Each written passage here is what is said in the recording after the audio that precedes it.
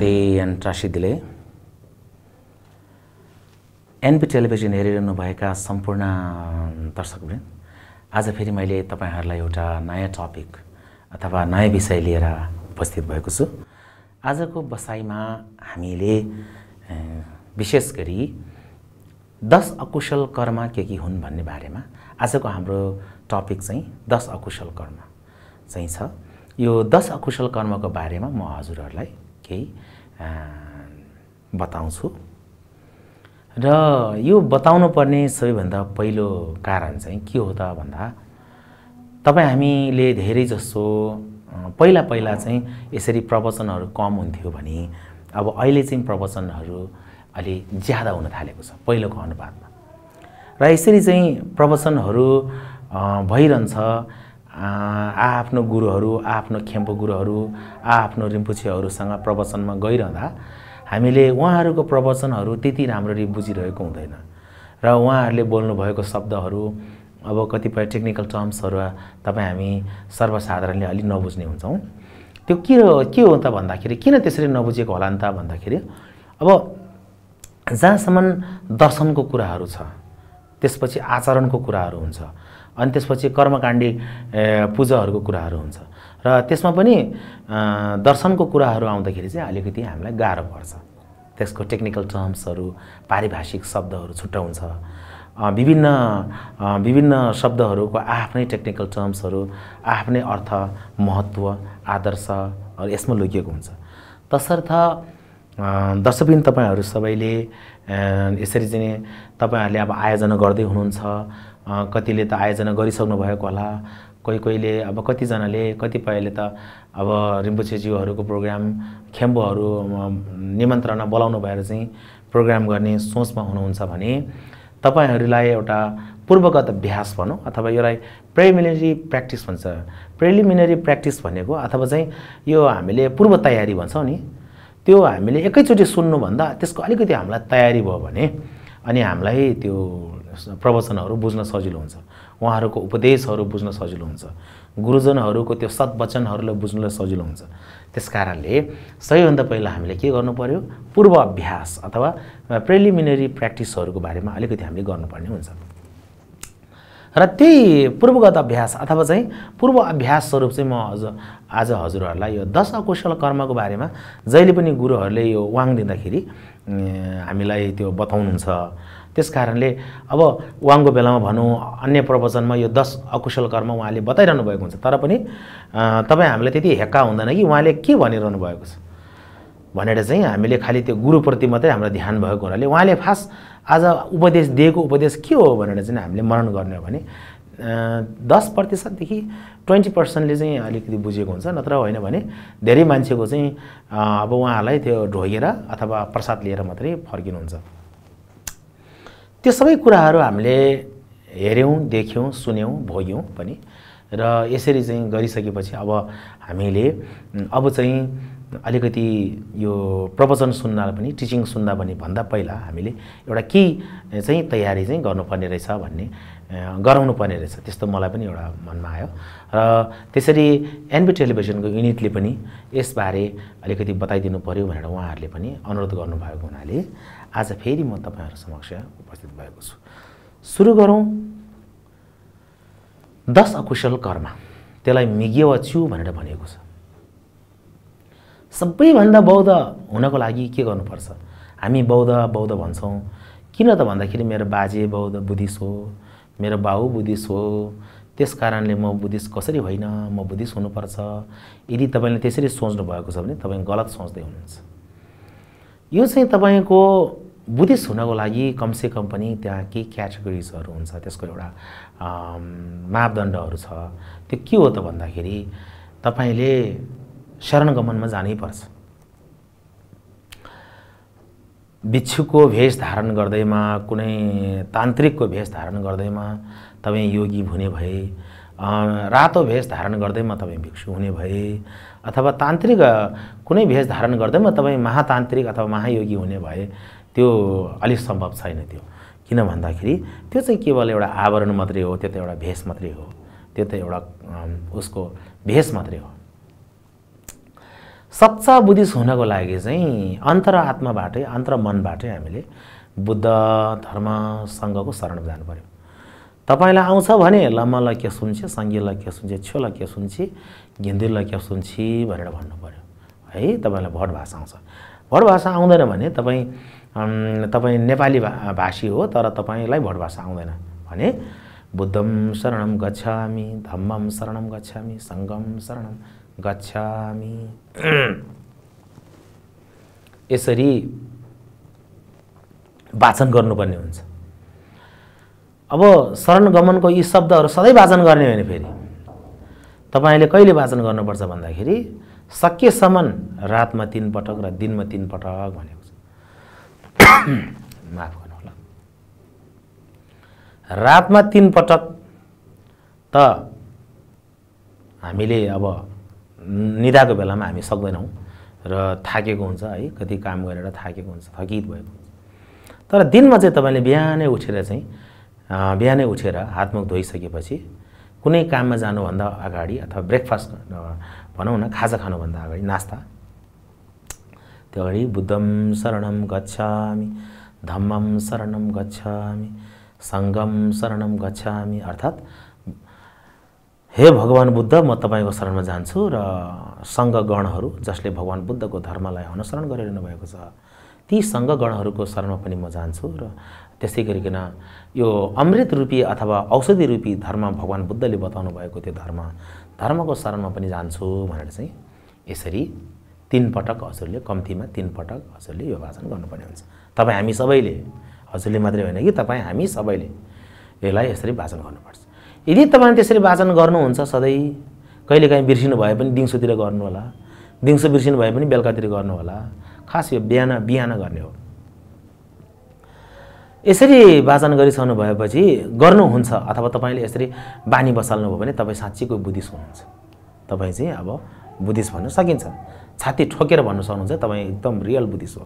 Actual रियलमा चाहिँ तपाईँ साँच्चैको बुद्धिस्ट हो। नत्र होइन भने तपाईँले ठुल्ठुलो कुराहरू चाहिँ गर्नुहुन्छ तर पनि तपाईँले शरणगमन गर्नुहुन्न चित्तोत्पात गर्नुहुन्न। भगवान् बुद्धले बताउनु भएका ती कुराहरू तपाईँले चाहिँ गर्नुहुन्न भने तपाईँ चाहिँ बुद्धिस्ट हुनुहुन्न। त्यसैले सच्चा बुद्धिस्ट बन्नको लागि हामीले शरणगमनमा जानुपर्ने हुन्छ।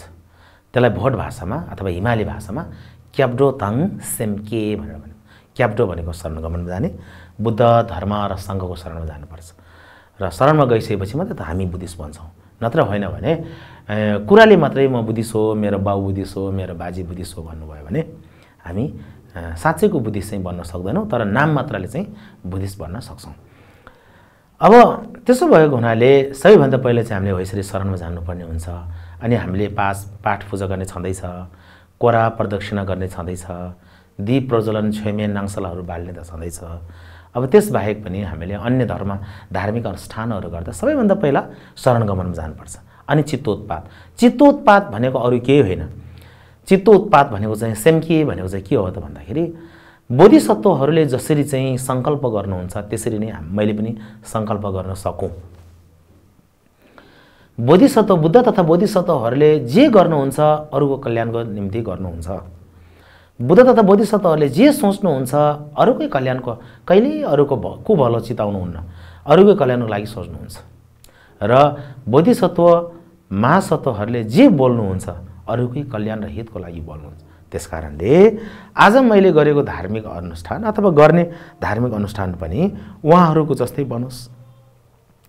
सबै सत्व प्राणीहरूको हितको लागि होस् मेरो लागि मात्रै नहोस् केवल मेरो परिवारको लागि मात्रै नभएर सबै सत्वहरूको लागि होस् भनेर चाहिँ तपाईँले त्यसरी चाहिँ सङ्कल्प गर्नेलाई चित्तोत्पात भनिन्छ। त्यसलाई भट भाषामा अथवा हिमाली भाषामा सेम के भन्छ। त्यसरी शरणगमन र चित्तोत्पात गरिसकेपछि अनि बल्ल तपाईँले धार्मिक अनुष्ठानहरू गर्नुभयो भने तपाईँको धार्मिक अनुष्ठानको जग राम्रो बन्छ बलियो बन्दछ। त्यो प्रगाढ बन्दछ गहिरो बन्दछ विपुल बन्दछ बृहत बन्दछ त्यस्तो हुन्छ। अनि विशाल बन्दछ। सानो पुण्य गर्नुभयो भने विशाल पुण्यमा परिणत हुन्छ। त्यस कारणले आज मैले तपाईँहरूले सबैभन्दा पहिला चाहिँ यो हामी हामीले शरणगमनमा जानुपर्छ। बुद्धिस्टहरू हुनको लागि म बुद्धिस्ट हो म बुद्धिस्ट हुँ भनेर मात्रै हुँदैन। यो शरण गमन र चित्तोत्पादमा गर्नुपर्छ। तपाईँले मुखले वाचन गर्नु नसक्ने स्थिति छ भने पनि मनमा नै भन्ने। मनमा नै बुद्धम शरणम गच्छामी धर्म शरण सङ्गम शरणम गच्छामी यसरी मुखले नभने नि मनमा नै मनमा नै भनिराख्नु सब्जी राख्नु पर्ने यस्तो गर्नुभयो भने चाहिँ अनि तपाईँले जे काम गर्नुहुन्छ सबै अरूको हितको लागि होस्। भनेर चाहिँ गर्नुभयो भने त्यो चित्त उत्पाद त्यसपछि अब हामीले प्रवचन सुन्नको लागि मैले अघि सुरुमा पनि तपाईँहरूलाई भनिसकेको छु कि हामीले धेरै ठुल्ठुला गुरुहरूलाई निमन्त्रण गरेर प्रवचन सुन्छौँ। तर पनि त्यो प्रवचनबाट मैले कहिले साठी प्रतिशत बुझेँ कहिले मैले फिफ्टी पर्सेन्ट मात्रै बुझेँ कहिले मैले चालिस प्रतिशत मात्रै बुझेँ कसैले चाहिँ मैले त दस प्रतिशत बुझेँ भन्नुहुन्छ कहिले खै मैले त खासै केही बुझिनँ शब्दहरू सबै संस्कृत शब्दहरू थियो त्यो टेक्निकल टर्म्सहरू मैले बुझिनँ भन्ने कुराहरू यस्तो धेरै चाहिँ श्रोताहरूको चाहिँ त्यस्तो चाहिँ कुराहरू हामीले सुन्यौँ भोग्यौँ र देख्यौँ पनि। त्यस कारणले म तपाईँलाई सबैभन्दा पहिला प्रवचन सुन्नुभन्दा पहिला अन्य धेरै पाटोहरू पनि छ। आज म खास गरिकन तपाईँहरूलाई दस अकुशल कर्म के हो? दस अकुशल कर्मलाई मिग्यो च्यु भनेर भनेको छु। हामी मानव भएर जन्मिसकेपछि मानवले स्त्री होस् या पुरुष कुनै निर्जीव वस्तु बाहेक है फेरि। ढुङ्गा मुढाले त पाप गर्ने कुरै भएन होइन? अब रुखले पाप गर्ने कुरै भएन। तर पनि मानवले चाहिँ नि पाप गर्ने भनेको मानवले हो। तर मानव भएर जन्मेपछि त्यो मानवले स्त्री होस् पुरुष उसले उसको पाप तिन द्वारबाट हुन्छ एउटा चाहिँ। भनेको मतलब तिन तरिकाले पापहरू गरिन्छ क्या।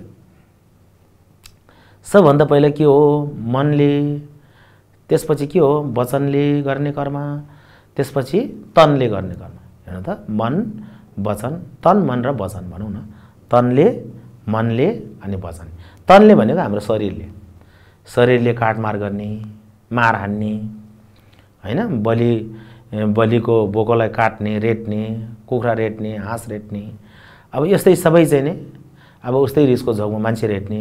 अब त्यस्तो सबै चाहिँ उसको तनले गर्ने हो। तनले गरिन्छ मान्छेले दस अकुशल कर्ममध्येमा तनले चाहिँ हाम्रो शरीरले तिन प्रकारले गरेको छ। दस अकुशल कर्म भने त्यही हो। अब जस्तै हेर्नु न शरीरले गर्ने तिन प्रकारको पाप हुन्छ होइन। वचनले गर्ने चार प्रकारको पाप हुन्छ। अब तपाईँ सोच्नु त चार र तिनले कति भयो? सात भयो। उसमा मनले कति प्रकारले गर्छ भनेदेखि मनले पनि तिन प्रकारकै पापहरू गर्छ। मनले तिन शरीरले तिन छ भइहाल्यो। अब यो हाम्रो वचनले बोलीले गर्ने पाप कर्म चार प्रकारको हुन्छ। तिन तिन छ छमा चार थप्दा दस हुन्छ। त्यस कारण त्यसलाई भन्छ दस अकुशल कर्म। त्यस कारणले मैले अघि तपाईँलाई दस अकुशल कर्म के हो भने शरीरले गर्ने तिन प्रकारको पाप मनले गर्ने तिन प्रकारको पाप गर्दा छवटा भयो तिन दिन छ। त्यसपछि वचनले अथवा बोलीले गर्ने चार प्रकार गर्दाखेरि दस प्रकारको पाप कर्मलाई नै दस अकुशल कर्म भनेर भनिन्छ। त्यस कारणले मानव भएर जन्मेपछि यसरी चाहिँ दस प्रकारले चाहिँ पापहरू हुने रहेछ। तर हामीलाई कहिले पनि ख्याल हुँदैन कि ए मैले त राम्रै गरिरहेको छु मैले के पाप गरिरहेको छु र भन्ने। अनि मैले के अपराध गरिरहेको छु र भन्ने? यस्तो यस्तो नभन्ने हो भने आज अड्डा अदालतहरू हुँदैन थियो होला यस्तो न्यायालयहरू हुँदैन थियो होला। किन भन्दाखेरि धेरै मान्छेमा लोभी पापीहरू बढेपछि अपराधहरू बढे अनि अपराधले उसले पापलाई केही पनि सोचेन सानो कुराहरू सोच्यो। अनि त्यसरी चाहिँ ए के होला र? भनेर चाहिँ उसले पाप कर्म गर्यो। तर त्यसको फल भयङ्कर भोग्नुपर्छ भन्ने चाहिँ हामीले कमलाई मात्रै थाहा हुन्छ। ल हेर्नुहोस्। शरीरले गर्ने तिन प्रकारको कर्म के के हो? हत्या गर्ने एउटा हेर्नुहोस् ल अनि हत्या गर्ने शरीरले गर्ने हो त्यो। काटमार मार हान्नेदेखि लिएर काट्ने काम रेट्ने काम होइन? अरूलाई ढुङ्गाले हानेर मार्ने होइन? लट्ठीले हानेर चिरपटले हान्ने होइन? अब त्यस्तै गरिकन खुकुरी भाला हतियार प्रयोग गर्ने त्यो सबै हातले गर्ने हो। किन आँखाले त गर्दैन कानले पनि बन्दुक चलाउँदैन हातले गर्ने हो। त्यस कारणले यो शरीरले गर्ने चाहिँ एउटा सबभन्दा पहिला चाहिँ हत्या गर्ने होइन? त्यसपछि शरीरले गर्ने अर्को दोस्रो नम्बरमा चाहिँ के हो त? चोर्ने। हेर्नुहोस् है यसले चोरी गर्छ। चोरी गर्नु पनि शरीरकै पाप हो त्यो पाप गर्नु ऊ हातले शरीर चोर्छ नि त चोर्ने त। आँखाले कहिले पनि चोर्दैन। उसको कानले कहिले पनि चोर्दैन। उसको कपालले कहिले पनि चोर्दैन। दाँतले कहिले पनि चोर्दैन होइन? च्यापुले चोर्दैन उसको। केले चोर्छ त? हातले। त्यही भएको कारणले हातले चोर्ने चोरी पनि त्यसो पर्छ ल हेर्नुहोस्। पहिलोमा नम्बरमा हात्तीय हिंसा दोस्रो नम्बरमा चोरी अनि त्यसपछि गएर चाहिँ तेस्रो नम्बरमा चाहिँ उसले के गर्छ त भन्दाखेरि यो सेक्जुअल मिसकन्डक्सन त्यसपछि बलात्कारको जस्ता जघन्य अपराधहरू पनि उसले आफ्नै शरीरले गर्ने भएको कारणले शरीरले गर्ने शरीरले जहिले पनि तिन प्रकारले पाप कर्महरू उसले सञ्चय गरेको हुन्छ। त्यही भएर ल्युकी लेनी नाम्पासुम भनेको त्यही हो। नाम्पासुम भनेको तिन प्रकारले गरिन्छ शरीरको पा शरीरले पाप भनेको। त्यही भएर चोरी गर्ने बलात्कारदेखि लगेर चाहिँ यो बिहा विचारहरू सबै चाहिँ शरीरले गर्ने हो र त्यो हत्या पनि शरीरले गर्ने हो। त्यस कारणले शरीरद्वारा गर्ने तिन। त्यसपछि अब वचनले चार प्रकारले गर्छ अरे। ल हेर्नु है। वचनले चाहिँ चार प्रकारले के के गर्छ त्यसले अब हेर्नुहोस्। सबैभन्दा पहिले उसले के गर्छ? मृषावाद मृषवाद भनेको के हो? त्यसलाई चाहिँ पालीमा मुसावाद भन्छ। मृषवाद भनेको झुट्टो कुरा डाँट्ने झुट कुरो बोल्ने। नदेखेको कुरालाई देख्यो भन्ने। ल हेर्नुहोस्। नगरेको कुरालाई मैले गरेँ आँसिद्याएँ यस्तो भन्ने। नभेटेको छ भने उसले भेटेको मैले उसलाई भेटिसक्यो। फल्नाले मलाई यस्तो भन्यो उस्तो भन्यो उसलाई मैले भेटिसक्यो। डाँट। अनि उसले ध्यान गरेको जस्तो गर्छ आँखा चिम्लिँदैनमा कहिल्यै ध्यान हुँदैन। मैले पहिले पनि हजुर धेरैचोटि भनेको ध्यान चाहिँ आँखा चिम्लेर मात्रै गर्ने होइन। तपाईँले मिलारेबाको कहानी पढ्नुभयो भने उहाँले भन्नुभएको छ म हिँड्दा हिँड्दै पनि ध्यानमै हुन्छु। बस्दा बस्दा पनि ध्यानमै हुन्छु। खाँदा खाँदै पनि म ध्यानमै हुन्छु। सुतेको बेलामा पनि म ध्यानमै हुन्छु। यतिसम्म कि म तपाईँसँग बोलिरहँदाखेरि पनि म ध्यानमै हुन्छु। त्यस कारणले आँखा चिम्लिँदैनमा ध्यान हुँदैन।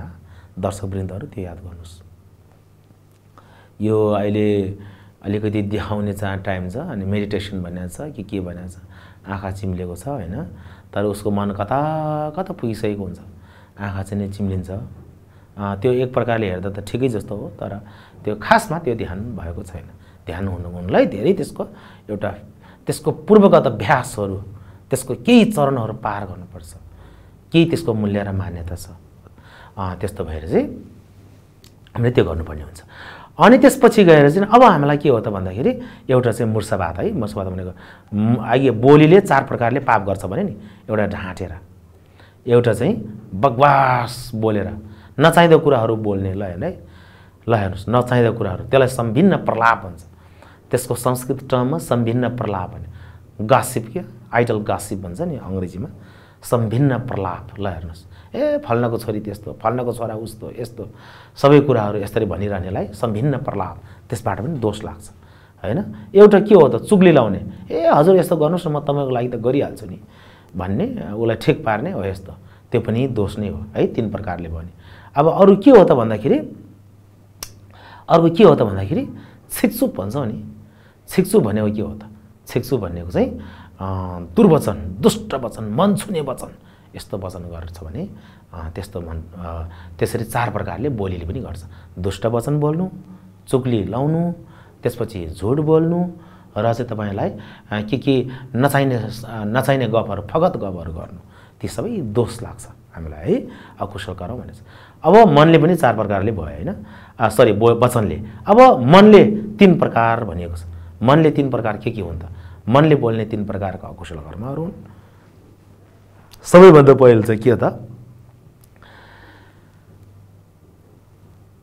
त्यसमा चाहिँ तपाईँको अविद्या भनेको छ। लोभ भनौँ न ल। अब अविद्या भने हजुरले नबुझ्ला। अविद्या भनेको टेक्निकल टर्म्स हो लोभको। लोभ गर्नु लोभ लोभ हुनु। ए यसको घर यस्तै मेरो पाए त यसको गाडी चाहिँ मलाई पाए त अथवा यसको सामान चाहिँ मैले लिनु पाएँ त। भनेर चाहिँ यस्तो यसको जग्गा चाहिँ मेरो भइदिए त भनेर चाहिँ तपाईँले त्यस्तो सोच्नु भयो भने त्यो चाहिँ अविद्याको दोष लाग्छ। त्यो एक नम्बर भयो होइन? अब एउटा चाहिँ यसलाई यस्तो यस्तो गर्नु पाए त यसलाई यसरी असर पुऱ्याउनु पाए त यसलाई चाहिँ जसरी भए पनि दुःख दिनु पाए त यसलाई कसरी खुट्टा तान्नु सकौँ? यसलाई चाहिँ कसरी त्यहाँबाट चाहिँ हटाउन सकौँ? यसको सत्ताबाट यसलाई कसरी पच्युत गरौँ?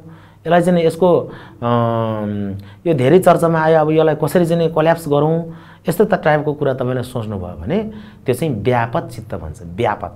व्यापत भनेको न्युसेम भन्छ नि न्युसेम। हो त्यो पनि तपाईँको पाप हो। मनले चिताउने पाप थियो ल हेर्नुहोस् है त। पहिला के भयो त? लोभ गर्नु लोभ चिताउनु। दोस्रो के हो त? अरूको कु भलो चिताउनु दोस्रो अब तेस्रो के हो? मनले गर्ने त त्यस तिन तिन प्रकारले हुन्छ होइन? एउटा चाहिँ के हो त? अनि लोक्ता भन्छ नि अभि मिथ्या दृष्टि धारण गर्नु। ल हेर्नुहोस् है त। लोक्ता। लोक्ता भनेको के हो त?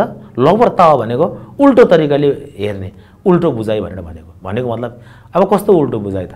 भन्दाखेरि यो लोकमा बुद्धको प्रादुर्भाव भएको थिएन हो त्यस्तो भन्ने। हुँदै हुनै सक्दैन। मान्छे त मान्छे भूत होला। यहाँ कहाँ छ स्वर्ग कहाँ छ नर्ग? हो त्यस्तो।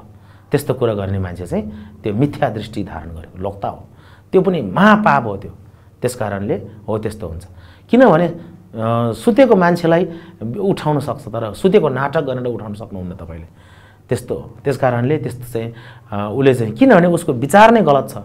उसको धारण उसको दृष्टि नै गलत भएको कारणले त्यसलाई लोकता भनेर भनिन्छ। हो यसरी चाहिँ। मनले तिन प्रकारको पाप कर्महरू गरिन्छ। वचनले चार प्रकारको पापहरू गरिन्छ। र त्यस्तै गरिकन तनले अथवा हाम्रो शरीरले तिन प्रकारले पाप गरिन्छ। त्यसरी सबै पापहरू मिलाउने हो भने दस अकुशल कर्महरू हुन्छ। अथवा दस प्रकारका पापहरू हुन्छ। यी पापहरू हामीले त्याग्नु पर्दछ। यसरी त्यागेर चाहिँ धर्ममा मनमा लगाउनु पर्दछ अनि यसरी धर्मको अभ्यास गर्नुपर्दछ धर्मको अभ्यास गर्नको लागि पहिला हामीले दुःखलाई बुझ्नुपर्छ। अब म आउने एपिसोडमा हजुरहरूलाई यो धर्मलाई धर्म अभ्यास गर्नको लागि सबैभन्दा पहिला संसारको दुःखहरूलाई बुझ्नुपर्छ। केही दुःखहरू नबुझे कसरी धर्म गर्दछ? जब उसलाई चिसो नभए उसले तातो के कसरी हिटर खोज्छ उसले? जब उसलाई भोक लाग्छ अनि उसले खानाहरू खोज्न थाल्दछ जब उसलाई तिर्खा लाग्दछ अनि उसले पानी खोज्न जब उसलाई प्यास लाग्दछ अनि उसले पानी खोज्छ। त्यस्तै गरिकन हामीलाई जब चाहिँ यो संसारको दोषहरूलाई जब तपाईँले महसुस गर्नु रियलाइज गर्नुहुन्छ होइन? तपाईँले अनुभूत गर्नुहुन्छ अनि तपाईँले चाहिँ धर्मको अभ्यास गरेर मोक्ष लाभ गर्नको लागि तपाईँ तत्पर हुनुहुन्छ। अब म अर्को एपिसोडमा हजुरहरूलाई ती संसारको दुःखहरू के के हुन्? संसारमा दुःख कसरी उत्पन्न हुन्छ? भगवान् बुद्धको दृष्टिकोण यसमा के छ? भगवान् बुद्धको अमृतमय वचनमा वचनहरूमा संसारको दुःख कसरी वर्णन गर्नुभएको छ? त्यो बारेमा बताउँछु र आजलाई मैले तपाईँहरूलाई आजको हाम्रो बसाइको समय पनि सकिएको सङ्केत पाएको छु मैले र समयले डाँडा काटिसकेको छ। माछी काँडैले माया लाउँदैमा छेक्यो डाँडालाई भने डाँडैले भने जस्तै आज तपाईँहरूसँग कुरा गर्दा गर्दै केही केही कुरा केही धर्मको कुरा र केही दर्शनको कुरा अनि केही आस्थाको कुराहरू र अनि केही जीवनमा हामीले बदल्नुपर्ने कुराहरू अथवा जीवनमा केही परिवर्तनहरू ल्याउनु पर्ने कुराहरूको बारेमा छलफल गऱ्यौँ। श्रवण गरिदिनु भयो अन्तमा जाँदा जाँदै तपाईँहरूले एनबी टेलिभिजन हेरिरहनु हुने सम्पूर्ण दर्शकवृन्दहरू हजुरहरू देश विदेश जहाँ छरिरहनु भए पनि लाइक सेयर र कमेन्ट गर्न नभुल्नु होला। र तपाईँलाई हाम्रो यो बसाइ हाम्रो यो संवाद अनि यो हाम्रो व्याख्याहरू तपाईँलाई ठिक लाग्यो। र तपाईँलाई सही लागेको छ तपाईँलाई चित्त बुझ्यो भने तपाईँलाई अझै पनि केही प्रश्न छ तपाईँले प्रश्न छोड्न सक्नुहुन्छ तपाईँले कमेन्ट कमेन्टहरू छोड्नु सक्नुहुन्छ र एनबी टेलिभिजन मार्फत नै कुनै दिन म तपाईँलाई फेरि त्यो प्रश्नको उत्तर अथवा सवालको जवाब दिनको लागि म उपस्थित हुनेछु। स्मरण गरिदिनु भयो कोटि कोटि धन्यवाद। भवतु सप्पमङ्गलम्